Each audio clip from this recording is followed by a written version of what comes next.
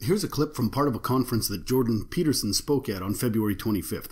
He first discusses the importance of free speech and telling the truth, then takes a question from the audience about Milo Yiannopoulos.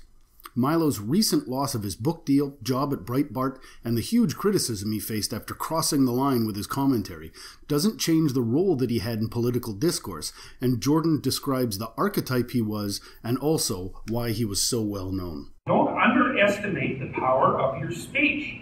Now, you know, Western culture is phallogocentric. Let's say it. Okay, so we'll say, yeah, that's just fine. That's exactly what it is. It's predicated on the idea of the logos. That the logos is the sacred element of Western culture. And what does that mean? It means that your capacity for speech is divine. It's the thing that generates order from chaos and then sometimes turns pathological order into chaos when it has to.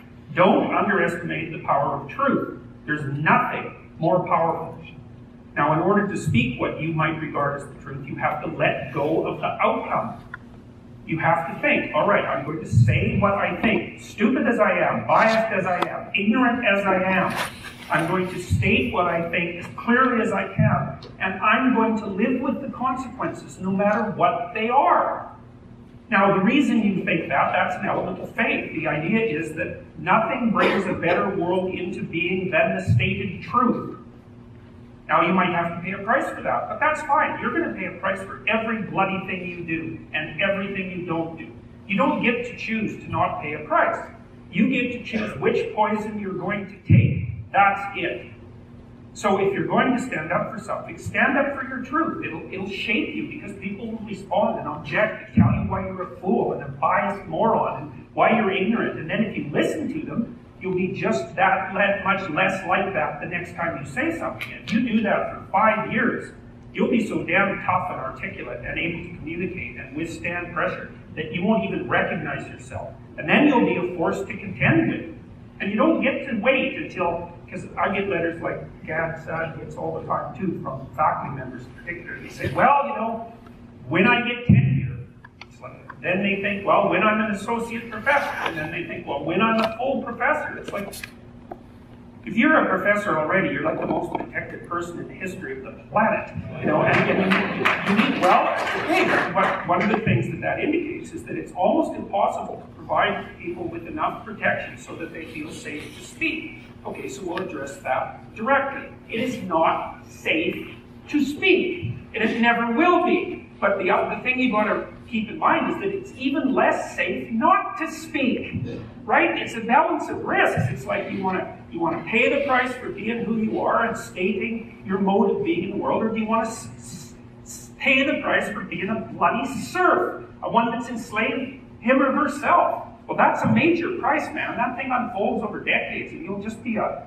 miserable worm at the end of about 20 years of that, right? No self respect, no power, no ability to voice your opinions, nothing left but resentment because everyone's against you, because of course you've never stood, up for yourself. It's like, say what you think carefully, pay attention to your words. The price is, it's a price you want to pay if you are willing to believe that truth is the cornerstone of society. And in the most real sense, if, you, if, you, if you're willing to take that leap, then tell the truth and see what happens. And nothing better could possibly happen to you. There'll be ups and downs, there'll be pushback, and there'll be controversy and all of that, but it doesn't matter. The truth is what makes the world. The truth is what redeems the world from hell, and that's the truth. And we saw plenty of hell over the last hundred years, you know, and we haven't learned a bloody thing from it. It's like, wake up, tell the truth, tell the truth, or at least don't lie. That's a start. And, and you got to understand that's a risk. But I will, I, I have one more brief thing to say about that. Um, so, you know, I said what I had to say back in September, and I, am sure that I could have done it better, and many people have told me how I could have done it better, although it didn't mean they would actually do it. But, but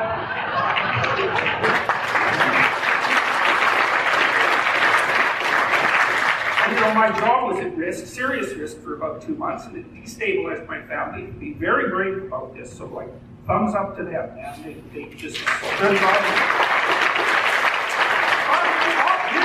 optimistic the university university has left me alone completely. I shook hands with the dean two weeks ago. We're on friendly terms. They don't want this to go any farther than it has already. The students were tremendously welcoming when I came back to teach in January. I haven't had a single negative incident at the university. And I've received thousands of letters from people all over the world, all of which have been in support. I've received two negative letters. That's it. Two. So the, the, the, people people have an inchoate longing to have the sort of thing that we're talking about articulated. And so don't be thinking you're alone. It's just that people can't talk, they're afraid to talk, or they don't know what to say. And, and those are real problems. So if you're reasonably articulate, like start talking and sharpen yourself up. I mean, the enemy is, is a cloud. They're a cloud of gnats. They're only courageous in groups. They're only courageous in mobs. If you stand your ground and don't apologize and articulate things properly, they'll disperse around you like they're not even there. So most of it's illusion. So don't be be afraid, but be afraid of the right thing. And the right thing you should be afraid of is not saying what you say, because that's the same as not being. And here you are suffering away. You might as well be at the same time. At least then there's something to you. So.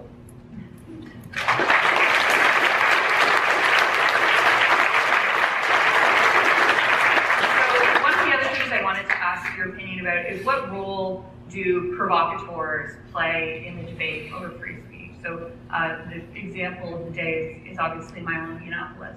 Um, are these champions of free speech, or do they undermine public support for the right? Or are they simply self-interested people who are hijacking a right in order to promote themselves and their own interests? Um, and obviously, is this a new phenomenon, or is it something that is is is age old? They're all Milo is a classic example. He's an amazing person. I mean, he's he's a contradiction. He's a walking contradiction. You can't pin that guy down. Right? Like, what is he? Half Jewish, half English, gay, uh, provocateur, Catholic, who's a, who's who's really who's yeah, who loves black guys and who who who is a, who appeals to American Republicans. It's like what are you going to say about something, somebody like that? It's like he's a he's a he's a trickster figure, archetypally speaking, you know, and he's he's a provocateur and a comedian. And the funny thing about comedians, they're like jesters in the king's court. The jester was the only person who could tell the truth because he was beneath contempt. And that's the role that comedians and provocateurs play. They're poking, they're poking and laughing and making fun. And you know, Milo, Christ even dresses like a uh, what do you call those? A harlequin. You know, he's a trickster, and trickster figures emerge in times of crisis, and they point out what no one wants to see, and they say things that no one will say. And you can say all the terrible things about him. He's a provocateur. He's an egomaniac. He's a. He, I don't think he's narcissistic, but because he has some real capacity for self-reflection. But um, and he's brave can be. I mean, and, and he's unstoppable on his feet. He just amazes me. I've never seen anyone ever, I don't think, and I've met some pretty damn smart people. I've never seen anyone who can take on an onslaught of criticism and reverse it like he can. If you like the video, smash that like button. If you don't like it, leave a comment explaining why. If you have nothing to add, zero, zero fucks, fucks given. given.